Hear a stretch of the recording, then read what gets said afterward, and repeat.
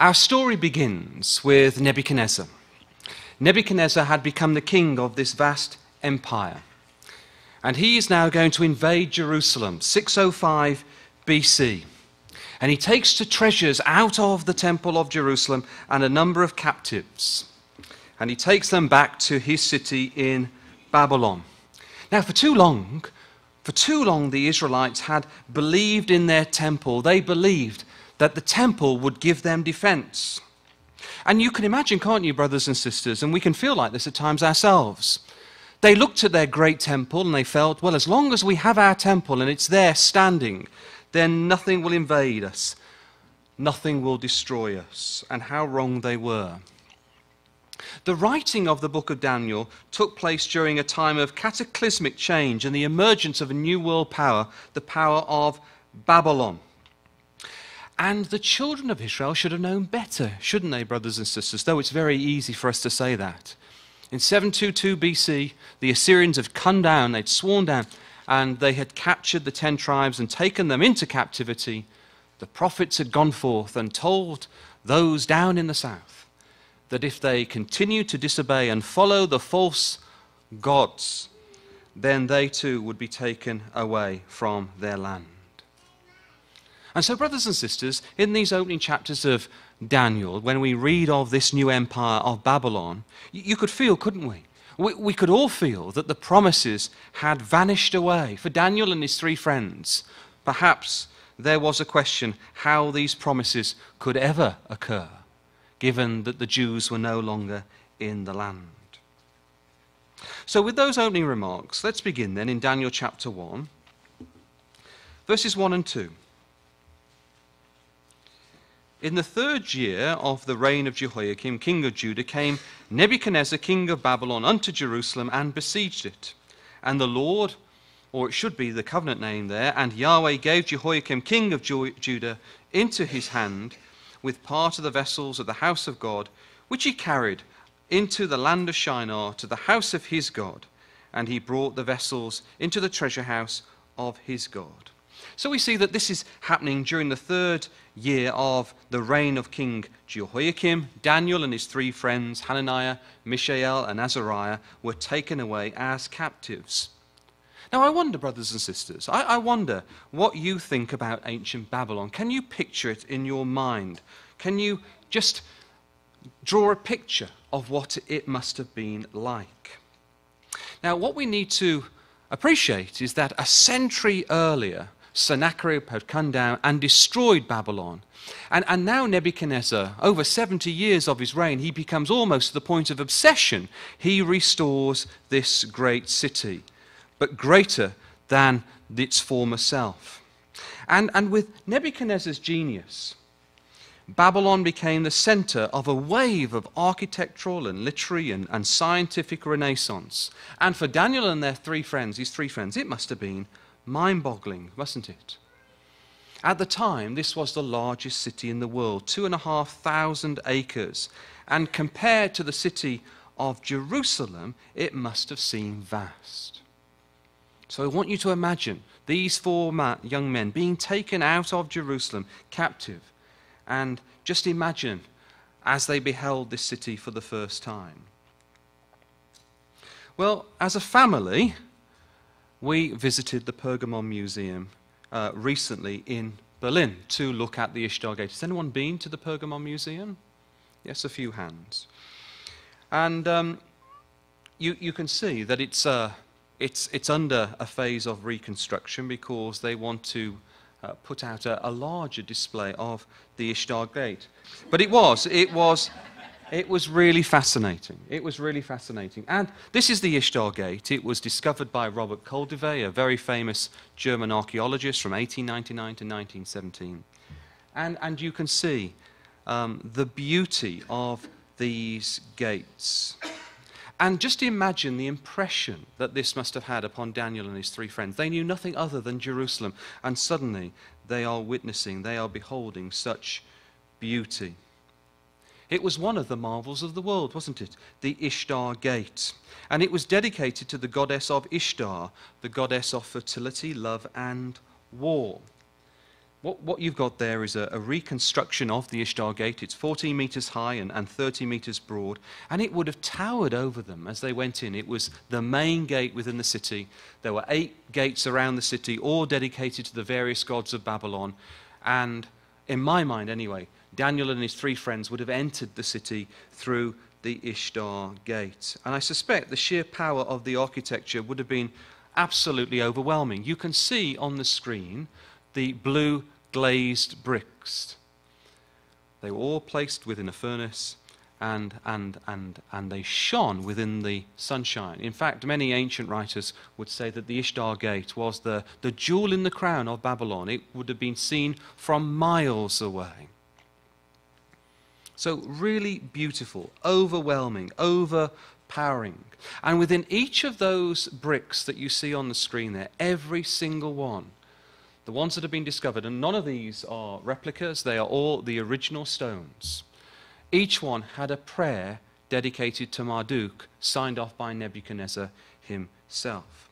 Now, uh, upon the Ishtar Gate, you have these unusual animals. And as you look at these animals, you can just think about Daniel chapter 7 and the various beasts that Daniel was going to see in his vision. So the first one then is Sirush, who is a dragon and he is Marduk in symbol, and Marduk was the patron god, the patron deity of Babylon, the supreme god who oversaw the city. Now, the other one has connections with Baal. Remember Elijah on Mount Carmel, and Baal. Baal was the, the god of many things, but one of the things he was, he was the god of the weather, and this is a similar one. Uh, this is Uruk, uh, the young Baal, and um, he is Adad. He is um, the storm god. Okay, so all across these mosaic tiles, you see these incredible pictures um, of these unusual beasts. Now, what happened? As you went into Babylon and you went through the Ishtar Gate, there was a plaque there in the gate that you would have to read as you went into the city. And you had to sign up to this. It was almost like the terms and conditions of the city. And let me just show you what you had to read. They're interesting. And what you see, brothers and sisters, is that, yes, of course, this was a political kingdom. Yes, of course, Daniel could see that, that, that Nebuchadnezzar was, his head of gold. But really, at its core, it was a religious kingdom. So we read these words Nebuchadnezzar, king of Babylon, the faithful prince appointed by the will of Marduk, so Marduk's the, the patron god there, the highest of the princely princes, beloved of Nabu, of prudent counsel, who has learned to embrace wisdom, who fathomed their divine being, and reveres their majesty. And that's interesting, isn't it? That's Nebuchadnezzar saying these words about himself, that it's taken him time to truly understand and appreciate the greatness of the gods and the deities in heaven. Rather interesting. The wise, the humble, the caretaker of Esagila and Ezida, the firstborn son of Nebuchadnezzar, the king of Babylon. So, so Nebuchadnezzar here refers to himself as a caretaker. So, yes, of course, he was that head of gold. He was supreme in this earth. But he still saw himself very much subject to the hierarchy in heaven, which I found very interesting. This was a religious kingdom, brothers and sisters. Now, this is um, particularly amazing. Uh, would anyone like to hazard a guess what you're looking at on the screen? Those of you who have been there, please do not um, spoil it for the others. Anyone? Yes, yeah, so what you see 70 foot trees, palm trees there, flora and fauna everywhere, and the symbol of Ishtar, the lioness at the bottom. Okay, so it's a, it's a beautiful facade. Well, if I were to tell you that that was the courtroom of Nebuchadnezzar, would you be surprised? So, where my children are sat, just behind them, that's where the throne was of Nebuchadnezzar. That is the very background of his throne. So, when Daniel went in and interpreted the dreams of Nebuchadnezzar, those are the very tiles that he saw. I had to go and touch them. Isn't that amazing? He actually saw that. And, and you might be surprised why these large palm trees and, and, and this very cultural facade. Well, it's easy to understand because Nebuchadnezzar was subject to Nabu or Nebu. That was his personal god. And Nabu or Nebu was the son of Marduk. And does anyone know who Nabu was? What his responsibility was? He was the God of wisdom and literature. He was the God of learning and culture. So when Daniel and his three friends are ushered into the city, what's the first thing that Nebuchadnezzar wants to do to them? He wants them to teach them, teach them the tongue of the Chaldeans, right? He puts them through a three year educational program. The reason being was that his personal God, the one that he was individually responsible to, was the God of culture and wisdom. Isn't that interesting? So everything about Nebuchadnezzar, this great kingdom that he established, this wonderful Ishtar Gate that he rebuilt three times, he did all these things because his God was the God of culture and wisdom. Now, does anyone know how many temples were discovered in Babylon? I know I'm asking you a lot of questions so early on in the morning. 1,197 temples have been discovered. It was a religious kingdom, brothers and sisters, young people. 1,197 temples were discovered. And how many temples were there in Israel? One. Just one in Jerusalem. So, can you imagine then? He was Nebuchadnezzar, and we know early on that they had a very good relationship, Nebuchadnezzar and Daniel, and that would continue all the way through their collective lives. And, and can you imagine Nebuchadnezzar saying, Daniel, your Yahweh, doesn't he reside in the most holy place within your temple? Well, I went right through there, and I took all the vessels, and there was no response, there was silence. Now, look at this great city that I have built and the 1,197 temples, and all with their various gods, and look at the culture and the learning and the education that has arisen from my gods. Can you imagine that, brothers and sisters? I'm sure that was a temptation for Daniel, as it is for our young people when science is thrown their way. You don't need to read the scriptures and believe in the Genesis account. It's the same thing, isn't it, brothers and sisters and young people? But Daniel held strong now, what I want you to do, I want you to really appreciate that this wasn't some um, um, backward or unsophisticated culture. This was highly advanced, far more advanced than Israel. Look at this. What was happening with the Babylonians at this time? Well, those of you who have asked a bit about my background, I used to be a mathematician. Um, a few groans there. Uh, is it because there's another mathematician in the room? um, so I used to be a mathematician, so there's a few things about the Babylonians that, that I uh, particularly love.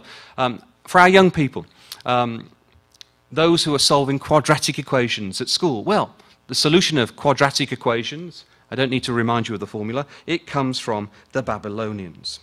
Um, they were also um, performing cube roots of numbers through um, a method called iterative devices, really advanced mathematics. They also understood um, the signs of the zodiac. And um, they could read the sky. They were advanced in astrology. They knew the various movements of the sun and the moon and the five planets, and they represented their five gods, together with the moon god and the sun god the 60 minutes in an hour came from the Babylonians. So your watch on your wrist comes from the Babylonians. 360 degrees in a circle came from the Babylonians. They also shone in medicine. There's also uh, in through ancient discoveries, there, there's evidence that they were performing very delicate eye operations. They were the ones who, who uh, discovered uh, the pulse and the circulation of the blood. And Daniel entered that environment, brothers and sisters. It was a highly advanced, a highly cultural society. You couldn't see a more magnificent city even today, brothers and sisters. So it's worth bearing that in mind when we're thinking about Daniel and his three friends and the temptations that they faced. Now, because we're looking at Daniel for the week, I just want to highlight a few interesting things for you. We're going to be spending our time in chapters 1 to 6, which is not the prophetic section, it's the section of the characters. But what's interesting is that when you do look at the book of Daniel, it does naturally divide in two. Chapters 1 to 6 are the characters of Daniel, and 7 to 12 is the prophecy. But also, what's interesting, and it's very unique to this book, that we have a section of Aramaic. Now, we don't find Aramaic anywhere else in the Old Testament.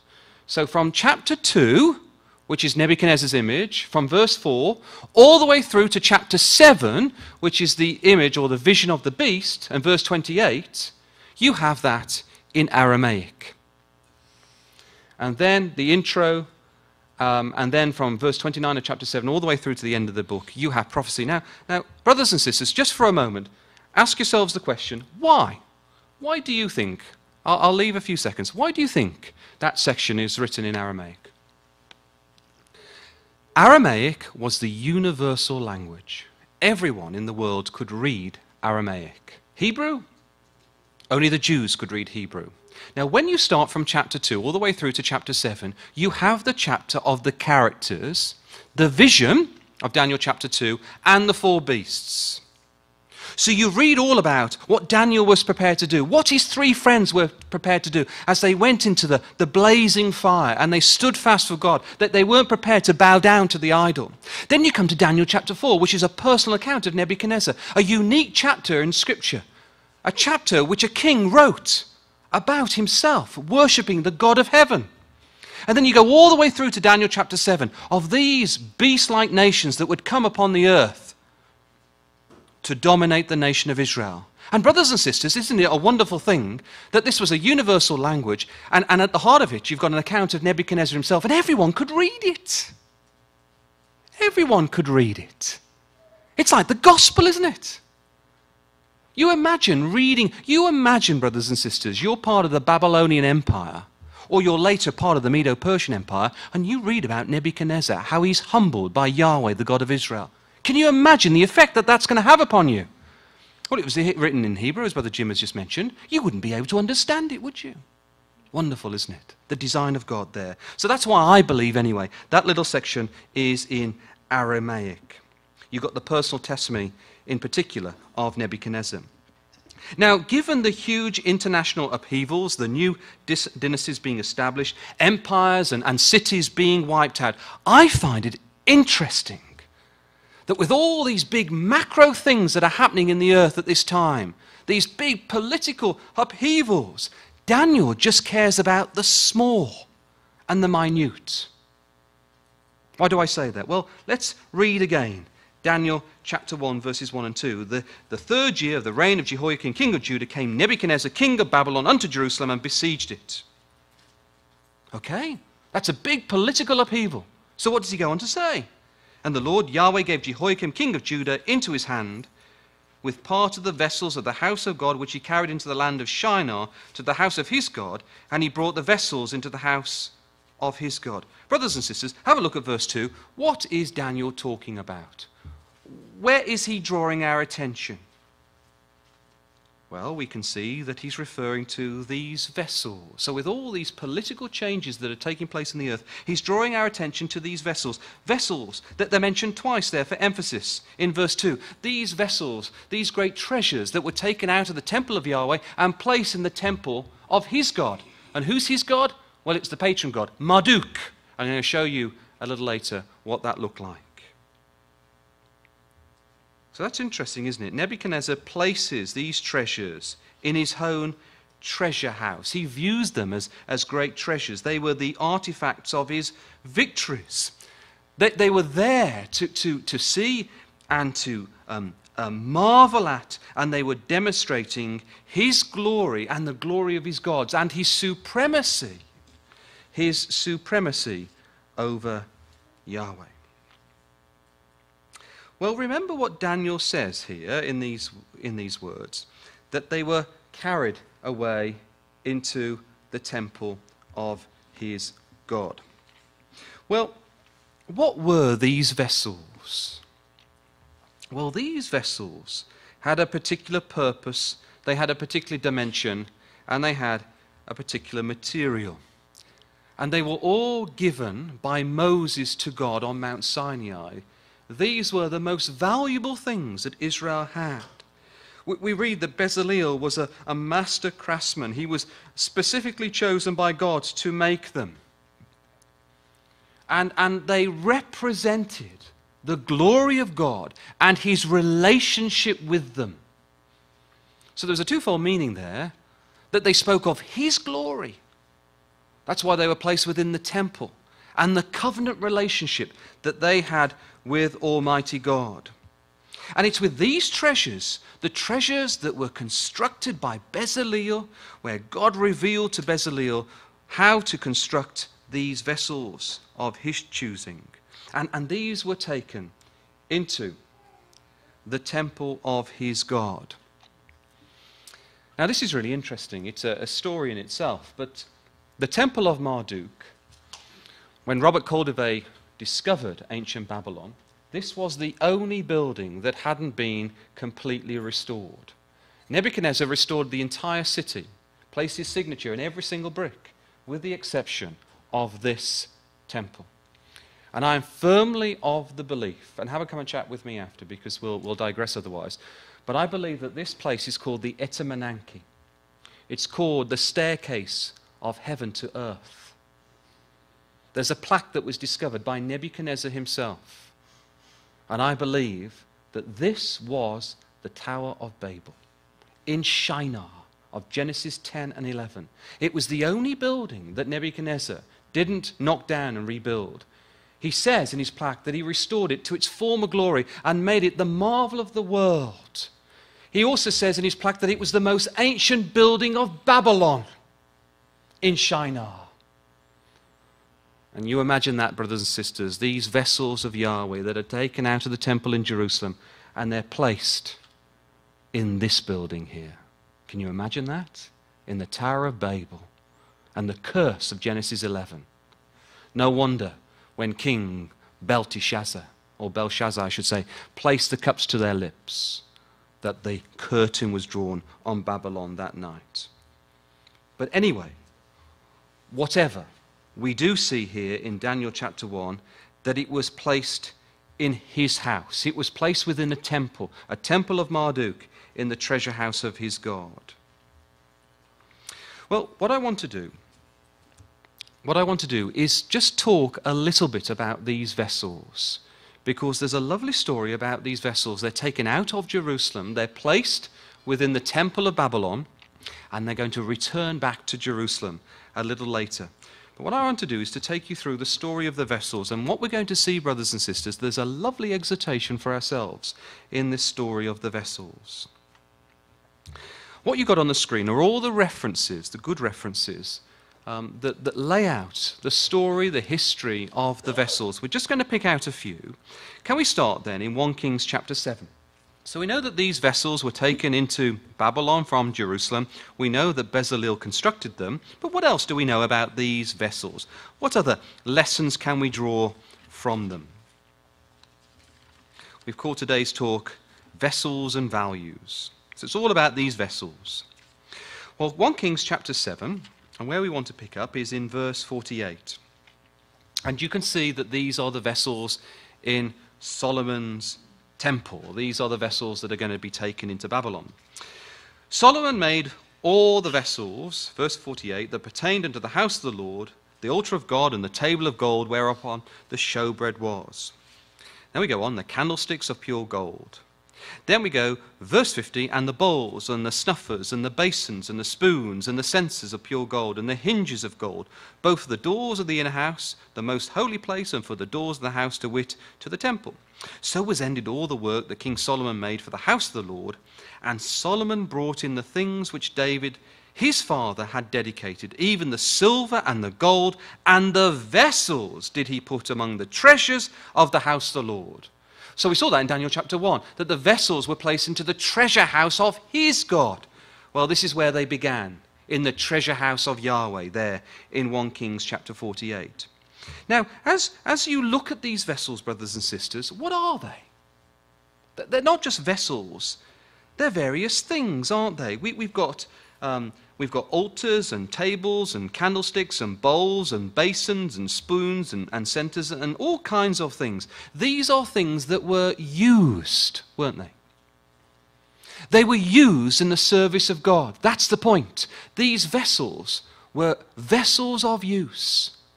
And by shutting them in, the temple of his God, Marduk, what was Nebuchadnezzar doing to these vessels? He was making them redundant. Can you see that, brothers and sisters? He, he was making them treasures so that you went and, and you saw them and you marveled at the beauty of them. And that's the lesson. That's exactly what Nebuchadnezzar was doing with Daniel, Hananiah, Mishael, and Azariah. He was taking these treasures out of Jerusalem and he was shutting them up in Babylon. And his intention was to make them redundant. Can you see that? No longer did he want them to serve Yahweh, the God of Israel. He wanted them to be redundant. So these vessels, then, in the use of personification, they become like Daniel and his three friends, all the faithful that are taken to Babylon. Can you see that, brothers and sisters? That they're not just vessels, they are, they are objects used in the temple in the worship of God. And Nebuchadnezzar was trying to strip Yahweh out of these vessels. That's the lesson, brothers and sisters. Well, let's go on. Can we have a look at 1 Chronicles chapter 28? So we've seen that these vessels, they are appearing as objects here in 1 Kings chapter 7, but they take on a life of their own here in uh, 2 Chronicles chapter 28. 2 Chronicles chapter 28. And here now we're moving forward in time, and we are now in the reign of King Ahaz. We just want to pick out one verse, and then we'll go to the next chapter. It's found in verse 24. 2 Chronicles chapter 28, verse 24. And Ahaz, we read, gathered together the vessels of the house of God and cut in pieces of the house of God and shut up at the doors of the house of the Lord. And he made him altars in every corner of Jerusalem.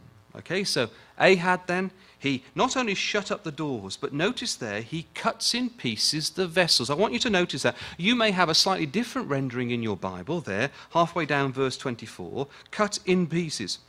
Well, that's a very interesting phrase because when you look in a concordance, you will find that in virtually every other case, it refers to the persecution of people.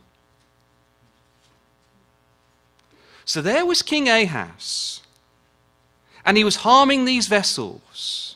And under the Spirit, it uses a term that describes the harming of God's people. So, in other words, then, uh, let me just illustrate this to you. This phrase can mean cutting off of hands and feet. Deuteronomy 25, verse 12, 2 Samuel 4, verse 12, or thumbs and toes. Judges, verses 1, uh, Judges 1, verses 6 to 7. So it, it, it's portraying here that these vessels went through some kind of persecution, a time of affliction. It was a human experience, brothers and sisters. That, that's the point. These vessels now are taking on a life of their own. They're symbolizing something more than just merely, if I may say that, merely sitting within the temple. They are now, through this use of personification, they are becoming representative of God's people. Well, this is seen even more so in the next chapter during the king, uh, during King Hezekiah's reign. So 2 Chronicles 29, and where we want to begin, verse 18 now. 2 Chronicles chapter 29 and verse 18. Then they went into Hezekiah the king and said, We have cleansed all the house of the Lord and the altar of burnt offering with all the vessels thereof and the showbread table with all the vessels thereof. Moreover, all the vessels which King Ahaz in his reign did cast away in his transgression have we prepared and sanctified, and behold, they are before the altar of the Lord.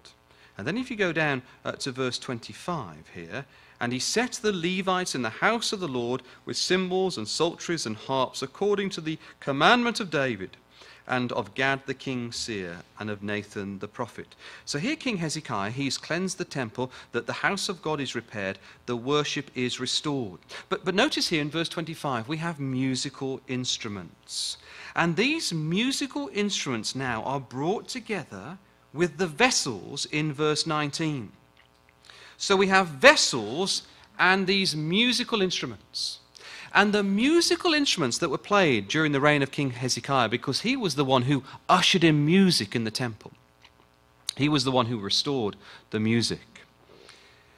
The music speaks of fellowship with God. It speaks of that oneness between God and his people. And this is when the doors were opened. His wicked father, King Ahaz, we saw, Remember that phrase in verse 24 of chapter 28? He was the one who shut up the doors. And now Hezekiah, he opens up the doors. He begins to use the vessels again. He brings in worship. So suddenly now the vessels begin to um, portray God's people. And with the music and with the doors open, it speaks of God's people accepting Yahweh their God. But when the doors are shut up and the vessels are no longer used, it's figurative of a time when God's people rejected their God. Can you see that, brothers and sisters? The fact that it's brought together with the music. So it's, it's, it's actually speaking not only about the people, but in the way that the vessels are used, it also depicts the state of fellowship that they have with God. So I would suggest that the vessels are not only a symbol of God's holiness, but a parable. A parable of Israel's relationship with God. Now, there's a very personal message to all of this, brothers and sisters. The book of Daniel, certainly chapters 1 to 6, I would suggest, is a parable of the vessels. Now, the challenge was would these vessels remain pure in a strange place? That's the question. Would these holy vessels, there placed within the temple, remain holy in an unholy place? That's the big question, isn't it, brothers and sisters? And Daniel, and Daniel, as he looked upon these vessels, he would see that these vessels symbolized him and his friends and the people of God, these vessels become inextricably linked with not only God's people, with Daniel, Hananiah, Mishael, and Azariah. Can you see that, brothers and sisters? As I said, that these vessels take on um, a life of their own. They, they become very symbolic. They become very important within Babylon. Well, let's have a look at Ezra chapter 1 now. Ezra chapter 1. And again, this picks up this idea, this theme of the vessels. And the vessels now are going to be returned back to Jerusalem. This is after the Babylonian captivity. But I want to notice the language, very specific language is used here. And we can draw again a powerful exhortation Ezra 1, then verse 1. Now, in the first year of Cyrus, king of Persia, that the word of the Lord by the mouth of Jeremiah might be fulfilled, the Lord stirred up the spirit of Cyrus, king of Persia, that he made a proclamation throughout all his kingdom and put it also in writing, saying, What does he say?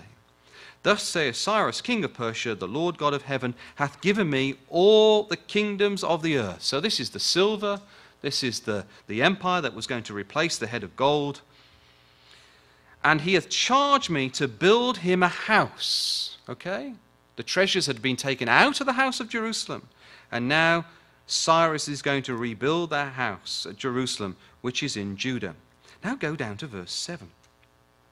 Also, Cyrus the king brought forth the vessels of the house of the Lord, which Nebuchadnezzar had brought forth out of Jerusalem, and hath put them in the house of his gods.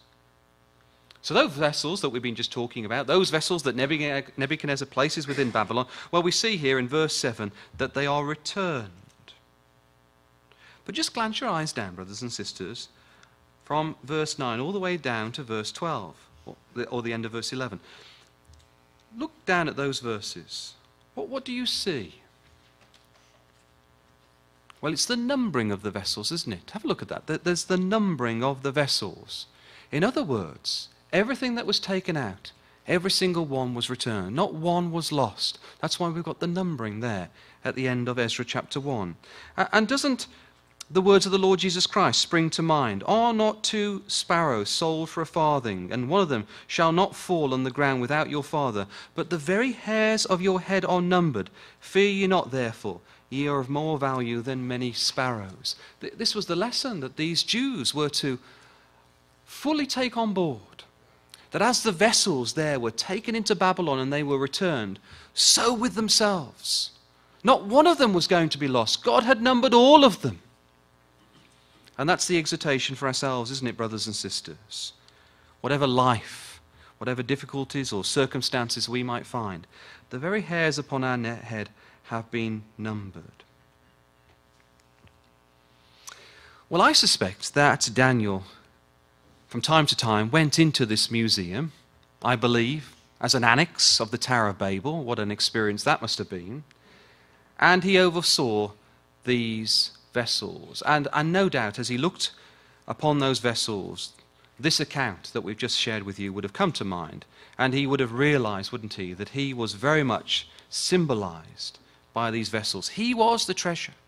And Daniel is going to show that a little later on in the book. But it's interesting, brothers and sisters, because Hebrew names, when we look at Hebrew names, we can speak with very um, um, a lot of confidence, really, when we're looking at Hebrew names, because the, the meaning of their names have been retained through the ages. When we look at other um, civilizations, the Babylonians and it's called the Akkadian language, they've not been um, so disciplined in recording the meanings of their names. So when Daniel's name is changed, and so are his three friends, there are various interpretations of the meanings of these names. That, that's the important point here. There are various meanings because uh, Akkadian is not as accurate as Hebrew. However, and I just want to bring this to your attention, one of the meanings of Belteshazzar, right, the name that was assigned Daniel, is keeper of the hidden treasures of Bel.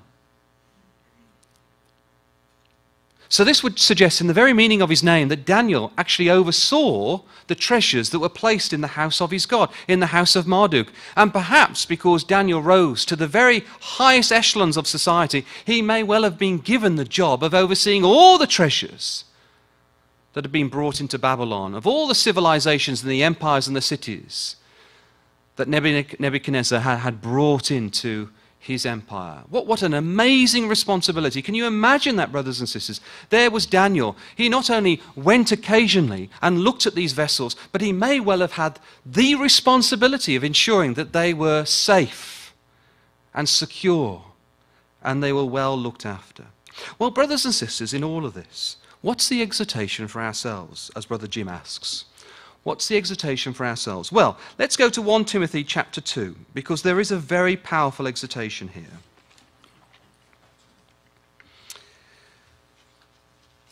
And I believe here, Paul, as he writes to Timothy, he is bringing to mind this account in Daniel chapter 1.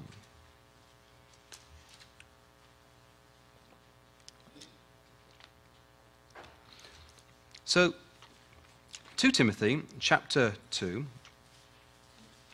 Did I say 1? It's 2 Timothy.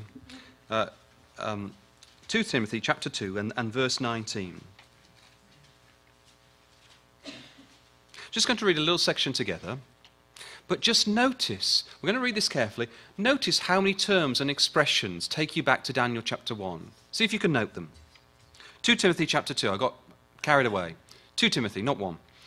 Nevertheless, we read there, the foundation of God standeth sure, having this seal The Lord knoweth them that are his. And that's interesting, isn't it? That, that, that's the, the powerful takeaway of this morning. That, that the, the, the, the vessels were all numbered at the end of Ezra chapter 1. God numbered the very hairs on their heads.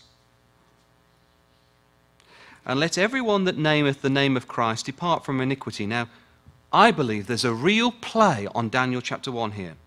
But in a great house, there are not only vessels of gold and silver, which were the vessels of the temple, they were made of gold and silver, but also of wood and earth, worthless vessels. And some to honor and some to dishonor. If a man purge, therefore purge himself from these, he shall be a vessel unto honor, sanctified, and meet for the master's use, and prepared unto every good work. That's interesting, isn't it, brothers and sisters? We read this carefully together. What, what's going on? Well, first of all, we have a house, a great house. And we've already seen that the house is very symbolic of the temple. And at the time of Daniel, there were two great houses.